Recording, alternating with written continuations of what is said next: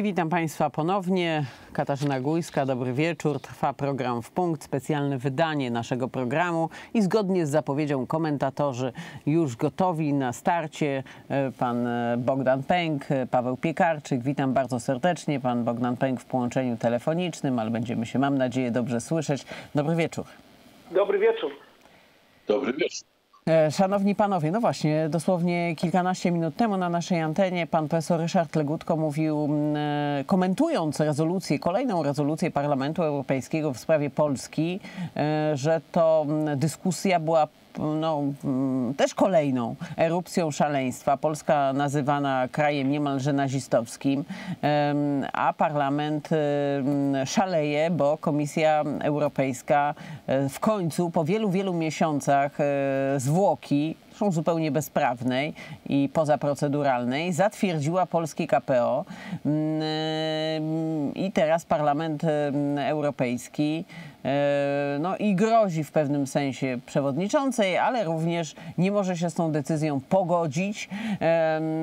Pan senator Bogdan Pęk, jak patrzy na te, mm, na te działania, no kolejny już tak naprawdę, ale zawsze zastanawiamy się, czy można więcej i czy można dalej i pewno w tych dzisiejszych okolicznościach, czyli okolicznościach wojennych, wydaje nam się, że to powinno powstrzymywać, że wojna zmieniła wszystko. No okazuje się, że jednak mm, nienawiści do Polski nie, i pogardy nie zmieniła. No tak, rzeczywiście to, mm, to może budzić dla y, ludzi niezorientowanych y, y, duże, duże wątpliwości i, i y, próba zrozumienia tego nie jest taka prosta. Ja tam byłem 5 lat i y, mogę powiedzieć z pełną odpowiedzialnością, że ta grupa ludzi, która tam zasiada, bo to jest taki quasi parlament. To nie jest prawdziwy parlament, bo y, jego, jego kompetencje stanowiące nie są zbyt duże. To jest taki duży klub dyskusyjny mm, ludzi wyselekcjonowanych, dobranych według schematu. e, Robimy na skróty państwo europejskie e, i wprowadzamy ideologię gender z, z przystawkami i basta. Pozostałe kwestie to, to, to są historie wtórne i, i mechanizmy pewne, które tam są wdrażane y, do szczególnie niebezpiecznych, zaliczam Fear of 55 y, i w ogóle ta obłędna walka e, z, klimatem, która jest utopią, y, to, to są tylko dodatkowe elementy tej samej gry. No i proszę Państwa, Parlament Europejski nie podejmuje takich uchwał, uchwał ad hoc, tak sobie w wyniku jakichś emocji. Parlament Europejski jest kontrolowany przez partię Donalda Tuska, która jest kontrolowana przez Niemcy. Mają tam pewne No tak, wpływy. ale już nie Donalda Tuska, bo jak wiemy, Donald Tusk e, kilkanaście dni temu z funkcją swoją się pożegnał. Już nie ma żadnych synekur, jest tylko szefem Platformy No Obywatelskiej. Oczywiście też pytanie, czy długo nim jeszcze pozostanie, mm, bo zdaje się, że tu też są jakieś inne różne koncepcje wewnątrz tego ugrupowania. Donald Tusk utracił przywództwo tej partii, ale sercem i duchem jest po tamtej stronie. To jest tak zwana Hadecja europejska, e, która y, w istotnej mierze wpływa na, na, na wszystkie, wszystkie procesy, które się tam odbywają. Oczywiście ciałem decyzyjnym jest y, Rada Europejska, składająca się z premierów bądź ministrów czy ambasadorów y, w poszczególnych zagadnieniach. No i, i, i oczywiście mm, e, Komisja Europejska e, składająca się e, z urzędników mianowanych przez poszczególne, poszczególne kraje. Każdemu z członków Unii Europejskiej przysługuje je, jeden fotel komisarza. Ale to, co, co moim zdaniem w tej sytuacji jest ciekawe, to po raz kolejny no, niebywale skandaliczne e, zachowanie e, posłów e, do Parlamentu Europejskiego wybranych w Polsce.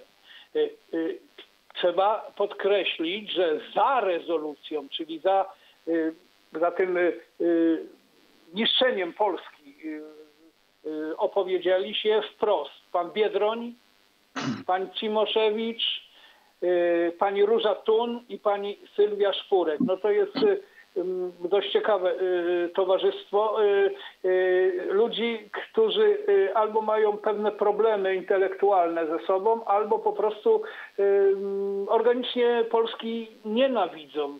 I, ta debata jest jakby ym, pewnym pretekstem do, do naszego myślenia o tym, co się wydarzy dalej. Y, Bo moim zdaniem istotą problemu jest to, mm, co zrobi Komisja Europejska. Bo oczywiście nie da się odwołać Komisji Europejskiej bez zgody Niemiec. Niemcy nie zgodzą się na odwołanie Komisji Europejskiej, której przewodniczy y, y, wysokiego szczebla przedstawicielka Niemiec.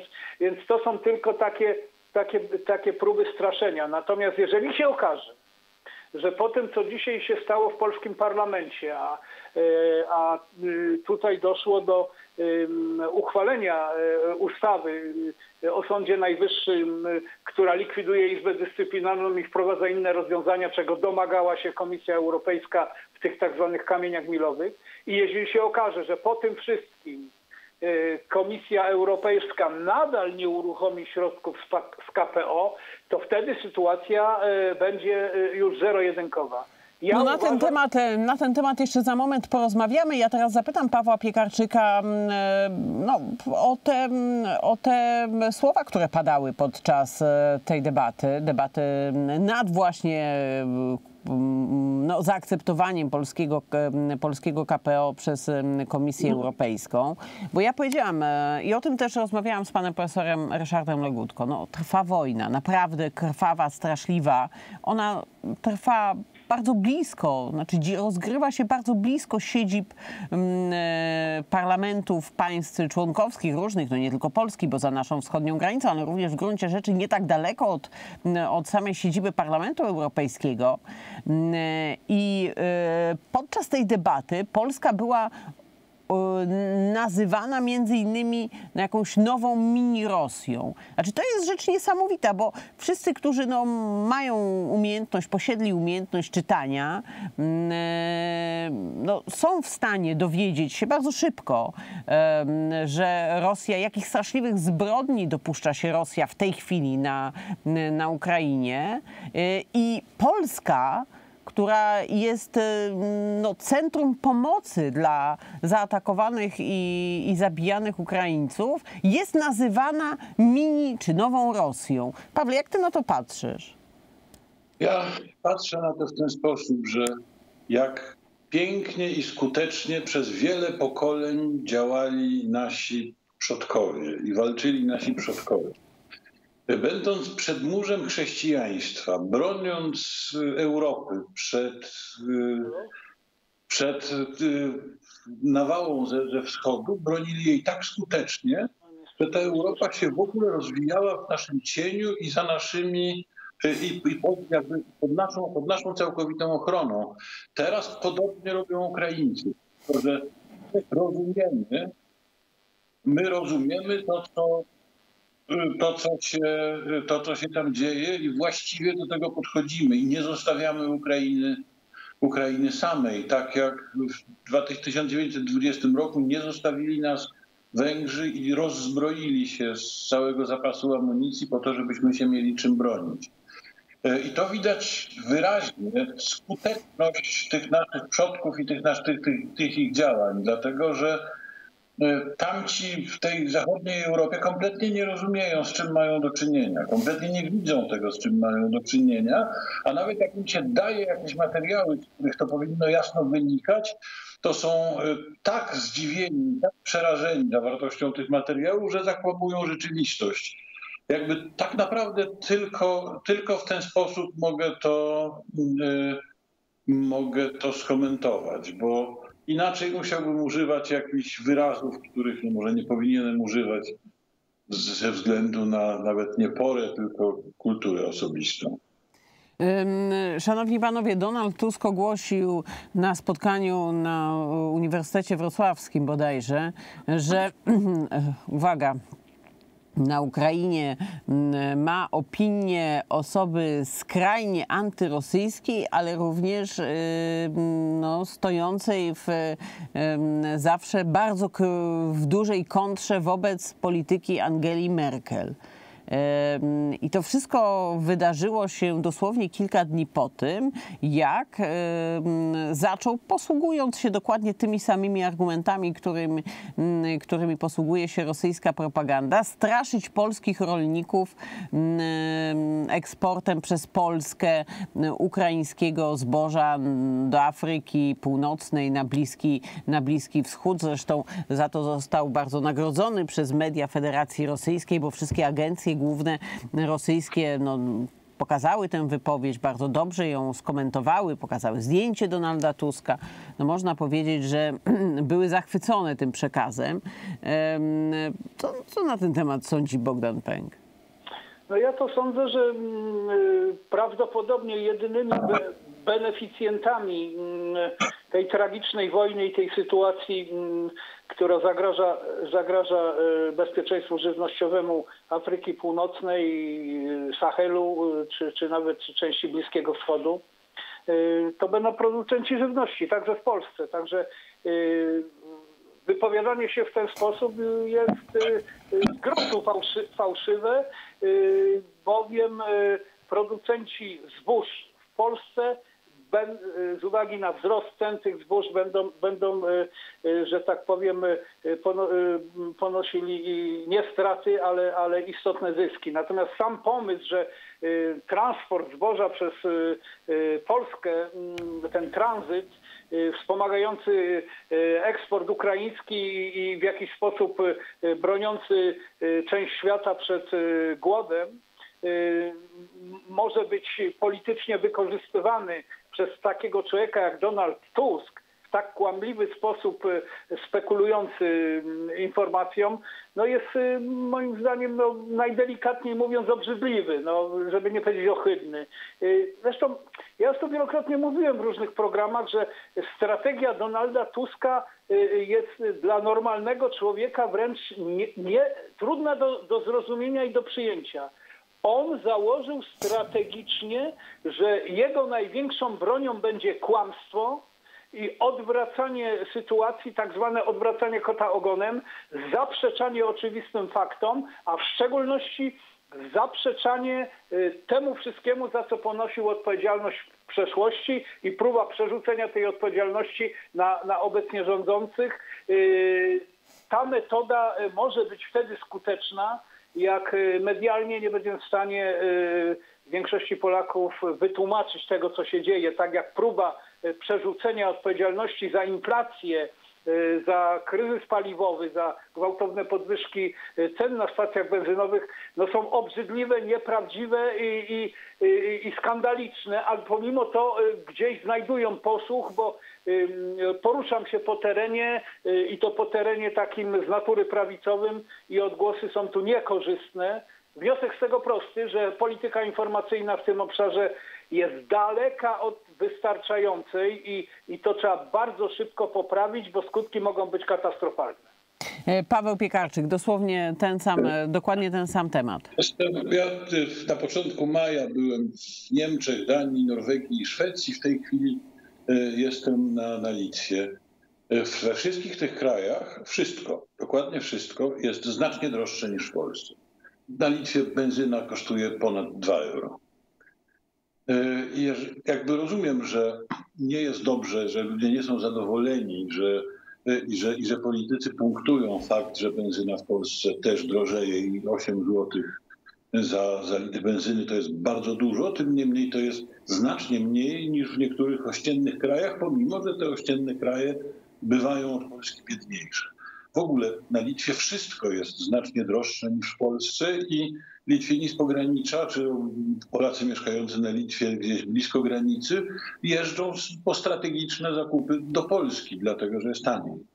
Warto o tym pamiętać. I warto, i warto, warto pamiętać o tym, że takie wypowiedzi, jakie Tusk raczy, jakich Tusk raczy udzielać na przykład na Uniwersytecie Wrocławskim, świadczą o dwóch rzeczach. Po pierwsze, że dla Tuska nie ma granicy podłości i granicy obciachu, żeby takie rzeczy gadać. Po drugie, że dla publiczności zebranej na, na, jego spotkaniu nie ma granicy obciachu, żeby takich rzeczy słuchać bez y, jawnego protestu. Znaczy to są bardzo groźne, ale bzdury. To, się, to wszystko jest oparte na nieprawdzie. To znaczy, to jest po pierwsze kłamstwo, po drugie głupie kłamstwo.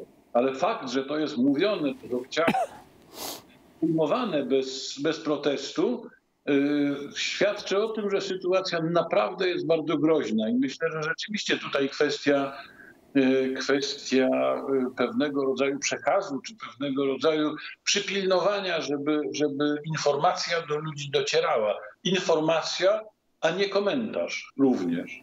Y, to jest kwestia, kwestia być albo nie być. To jest ważniejsze niż nam się niż nam się wyda. To ja jeszcze mm, zapytam panów, mamy dosłownie chwilę, spoglądam na zegar, mm, o, mm, no właśnie, wiemy o tym, że w tej chwili Rosja uruchamia, bo to po prostu widzimy, e, kolejne akcje propagandowe, co do tego nie ma żadnej wątpliwości, to nawet widać już e, w polskich niektórych mediach, tych, które no, bardzo często, że tak powiem, obsługują, e, nie wiem, świadomie czy nieświadomie, ale jednak tą rosyjską machinę propagandową. I no to jest jednak tak, że polityk, który y, sam siebie widzi w roli przyszłego premiera, bo tak się Donald Tusk prezentuje, wpisuje się jeden do jednego w rosyjską propagandę. Ja teraz mówię o, mm, o, tej, mm, o tym krytyce wsparcia mm, Ukrainy w wyeksportowaniu zboża. E, bo jakby już, już jakby abstrahując od tego, że to są kompletne bzdury, to co Donald Tusk mówi, no to jednak nawet gdyby tak uważał, to to powinien dostrzegać, że, że to w tej chwili jest również elementem rozgrywki ze strony Federacji Rosyjskiej, że ta blokada e, eksportu ukraińskiego zboża, ona czemuś służy i w gruncie rzeczy naprawdę nie trzeba być jakimś wybitnym specjalistą, żeby wiedzieć czemu służy. No, służy destabilizacji sytuacji w Europie. Chodzi oczywiście o rozchwianie, wywołanie kolejnych konfliktów i tym samym też zmuszenia Europy do, do tego, żeby być może przynajmniej część e, zaczęła postrzegać sprawę wojny na Ukrainie jako, jako już mniej istotnej dla niej. E, I, jak panowie patrzą? E, no, jednak jak spojrzy się na przeszłość, i szczególnie tą premierowską Donalda Tuska, to tam było mnóstwo decyzji, e, które były wprost prorosyjskie. To nawet ostatnio na światło dzienne wyszły nowe informacje, chociażby takie, że, e, że Lotos był po prostu, no, po prostu wprost oferowany przez, przez rząd Donalda Tuska Rosjanom. Tak? To nie jest tak, że się Rosjanie zgłaszali, to rząd Donalda Tuska oferował, e, oferował im, mm, im e, polską rafinerię w Gdańsku. I, i czy te dzisiejsze również zachowania Donalda Tuska, no czy one nie, jednak nie powinny niepokoić? Właśnie, no, czy nie powinny otwierać tego pytania? E, czy Donald Tusk po prostu no, w jakimś sensie jest politykiem prorosyjskim również dzisiaj? Bogdan Pęk. To, to on jest politykiem prorosyjskim o tyle, o ile przede wszystkim jest politykiem proniemieckim, a Niemcy, co widać wyraźnie, gołym okiem i co do tego nie ma już chyba żadnych wątpliwości, nadal nie wyrzekli się swojej strategii politycznej, którą budowali latami, budowania specjalnego układu ponad głowami reszty y, y, Europy, a zwłaszcza całej Europy Wschodniej i, tak zwanej Prybałtyki z, Rosją, realizując Y, stare bismarkowskie jeszcze pomysły. Y, to, to nie ulega najmniejszej wątpliwości. To jest człowiek nie, niebezpieczny, śmiertelnie groźny dla suwerennego państwa polskiego. Jeżeli on y, w wyniku różnych manipulacji i, i uwierzenia przez ludzi w Polsce, że te kryzysy, które w 90% są spowodowane czynnikami spoza państwa polskiego y, y, są skutkiem złej polityki obecnej władzy i udałoby mu się to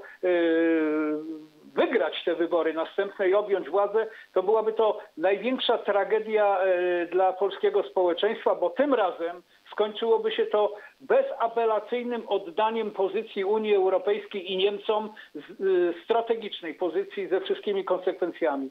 Co do tego zboża, no to przecież y, rzecz jest oczywista. Rosja próbuje wywołać y, falę, falę głodu y, w Europie, y, w, y, w, w Afryce y, Północnej y, w nadziei, że to spowoduje falę, y, gwałtowną falę imigrantów, tych z głodu spo- po- spowodowanych g- głodem. A, to, a ta fala uderzy Dobrze, i przepraszam panie senatorze, mamy tutaj problem. Ja poproszę reżyserkę o zdjęcie tego materiału, bo on jest niestety materiałem z dźwiękiem i teraz nie będziemy słyszeć naszych, naszych gości. To dwa zdania na ten temat, Paweł Piekarczyk.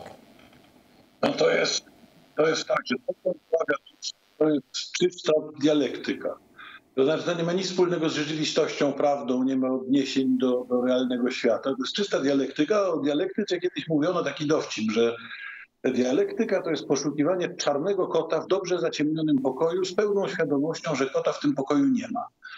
Yy, Dość niebezpieczne i dość niefajne jest to, że ogromna ilość ludzi tę dialektykę kupuje i przyjmuje ją i jakby uważa Tuska za polityka mm, rosyjskiego, antyrosyjskiego, że uważa za poważnego, za polskiego polityka go uważają, no różne takie rzeczy. To jest, natomiast jeszcze raz powtarzam, on szuka czarnego kota w ciemnym, dobrze zaciemnionym pokoju z pełną świadomością, że kota w tym pokoju nie ma. E, Przynajmniej I musimy, to, no oczywiście poza tym uważam, musimy tutaj postawić kropkę. Bogdan Pęk, Paweł Piekarczyk, bardzo serdecznie panom dziękuję. I do zobaczenia oczywiście, ale z Państwem jeszcze się nie żegnam. Za chwilę pan profesor Przemysław Żurawski-Welgrajewski mm, będzie gościem Państwa i moim, to dosłownie za chwilę.